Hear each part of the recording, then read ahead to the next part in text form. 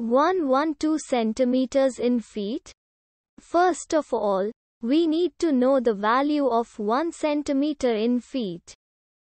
It's always 1 centimeter equals 0.03280839895 feet. Now we have to multiply 0.03280839895 by 112.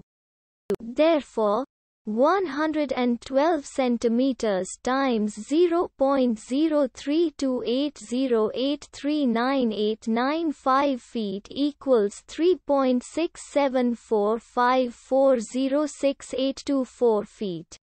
So, in other words, 112 centimeters equals 3.6745406824 feet. We hope you have enjoyed this video. Please like and subscribe to our channel for more videos like this.